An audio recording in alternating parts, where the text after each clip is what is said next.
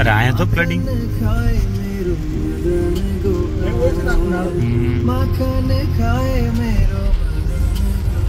छोटे छोटे